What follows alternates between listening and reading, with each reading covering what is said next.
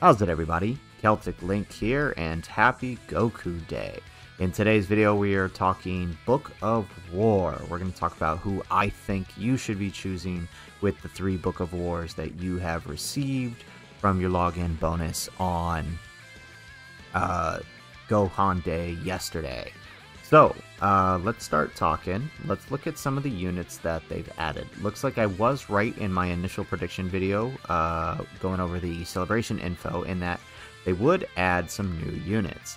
I had expect I, I had predicted that they might add this Fizz Super Saiyan 2 Gohan, which they did.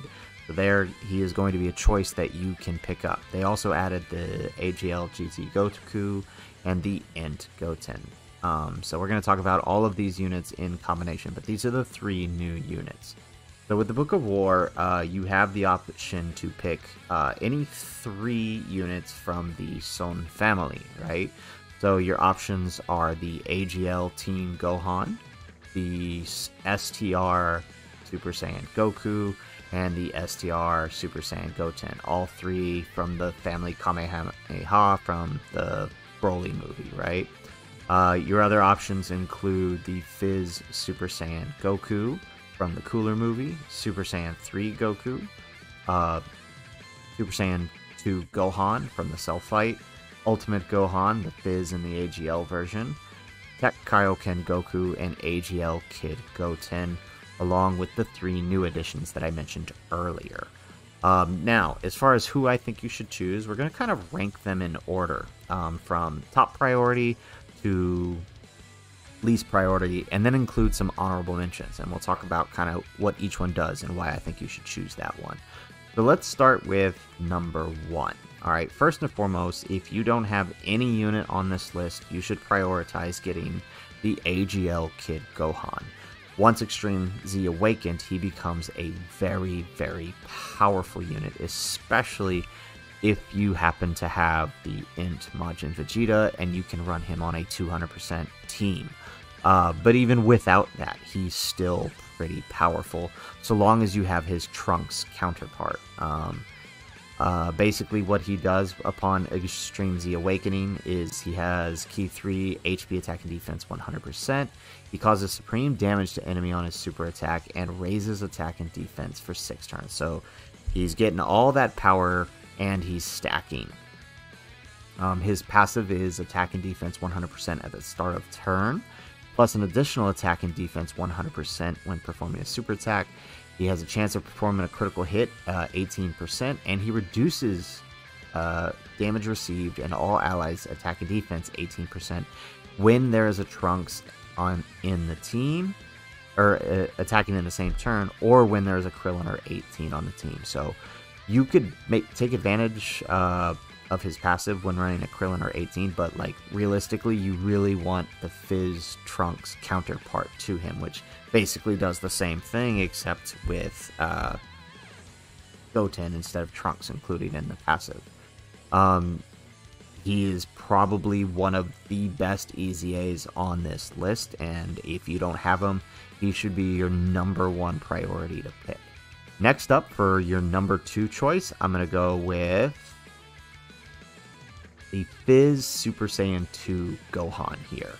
I say he's number two because uh, you guys have probably seen a couple of my Majin Buu Saga showcases. He's been he's been in quite a few of them because he is such a great support unit uh, in general, right? Upon e EZAing him, if you can, you can EZA him from the Hero Extermination Plan EZA area. He gets all types, Ki 3, attack and defense 60%, but you're not really going to be running him for his uh, leader skill anyways. He does greatly raise attack and defense for one turn and causes supreme damage, so that greatly raises, along with what we're about to read in the rest of his passive, make him an excellent third slot floater to support your rotations, right? He gets attack and defense 100% in his passive, he gets all allies Ki 2 and attack and defense 35%, so really good uh, support. Not a full 40%, but the fact that it's all allies and it's not uh, excluded to a category makes him really solid. He also has a medium chance of performing a critical hit and a medium chance of evading enemies' attack, starting from the turn in which the carrier has performed a third super attack in battle.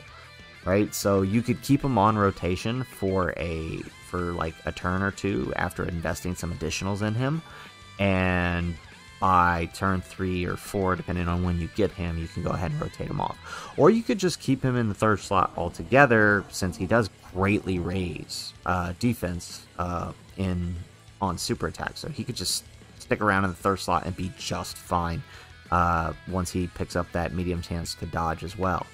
So I make him your second pick. So again, top one pick is the AGL Goten. Top two pick is this Fizz Super Saiyan 2 Gohan. Top three pick, right? So your your your next leading choice should be the Tech Kaioken Goku. If you're a newer player, he is definitely a good option for you, uh, especially because you know Goku's family units tend to be very, very abundant, and he, as you can see here, is a Goku's family lead for Ki 3, HP attack and defense 130%. He also leads tech types for 3 HP attack and defense 100%. So, you know, he's alright in the leader skill department, especially if you're a newer player. He does raise defense attack uh, on super attack, and he does greatly raise attack on super attack as well. So he's an attack and defense stacker, infinite stack, mind you uh, and causes supreme damage.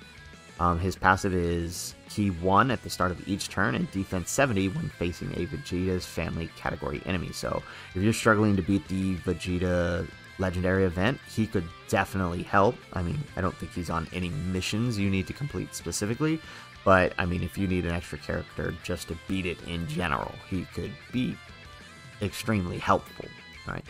He also gets attack and defense 100% when performing a super attack, and Ki 7 and attack 70 when HP is 70% or less, with a chance of performing a critical hit. Uh, plus 7 per Ki sphere obtained up to 30%. So he's got some built in crit, so you'll definitely want to invest some additionals into him, especially since he's stacking. Um, so, all in all, these three units uh, that I would advise you to ch uh, choose uh, in order of priority from the AGL Goten the Fizz Gohan and the Kaioken Goku. They are definitely good picks for your Book of War, especially if you're starting out and you don't have any of them.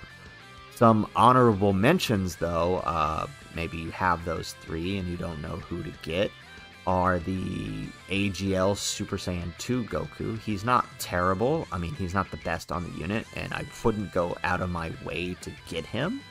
Uh, but, I mean, if, if you don't have if you've got everyone else, it doesn't hurt to pick up him or even a dupe for him, right? Because you could just fill out that dupe and allow yourself to pick up coins later uh, when you summon and you've already got him rainbowed, right?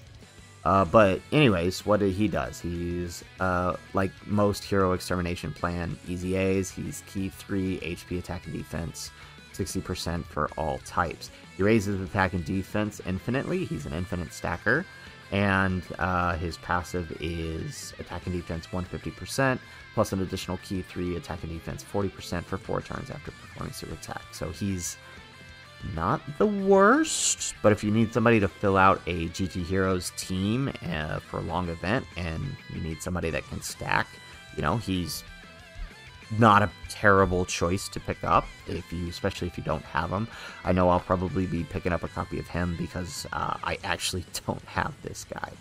Um, and then my second honorable mention is the fizz cooler movie goku. Uh, he's definitely an older unit uh, and he EZAs from the uh, extreme z battle uh, for the one that takes the I forget the name of it, but it's the one where you have to use the Ginyu Force to beat it. Uh, he's not a bad choice because he's definitely a good uh, he's a good filler unit for Super Battle Road uh, because of his super attack effect. Right, he causes supreme damage and has a great chance. Right, so that's a seventy percent chance of stunning the enemy. Um, he gives Ki to attack and defense 80% and a high chance of performing a critical hit, so you definitely want to throw in additionals into him. And then he also, uh, when you're 50% or more. When you're 49% or less, your Ki 3 100% and a great chance of performing a critical hit. So you get stronger the weaker you are, right? Uh, so, anyways, those are the choices for the Book of War.